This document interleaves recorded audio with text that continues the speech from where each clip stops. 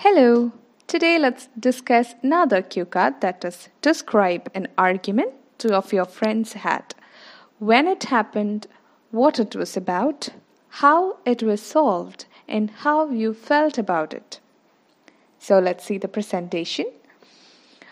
Well, arguments are common in our social life. Most of the times, it starts as a discussion and then turns into an argument when there is a conflict of ideology. It is good if it is healthy, but sometimes it crosses the border. I remember during my college days, my friends gather in canteen, actually the best place for food, fun, and chat those days, and they started talking about politics. I belonged to a college where college politics were very active. Two of my friends from two political sides started a discussion on election, and it ended up in an argument.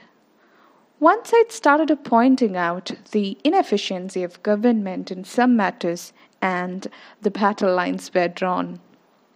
Yeah, it was me and some other friends without any party tags resolved the issue by asking them to wait until the election results. They were aggressive, but they decided to wind it up for the time being. I think such kind of arguments are common those days and even now because politics is a topic for heated argument in my state. I feel it was good at times. In a democracy, there should be an op- opposition.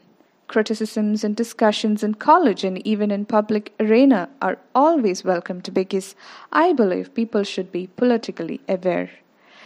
But it should not cross the borders or it should be within the healthy limits.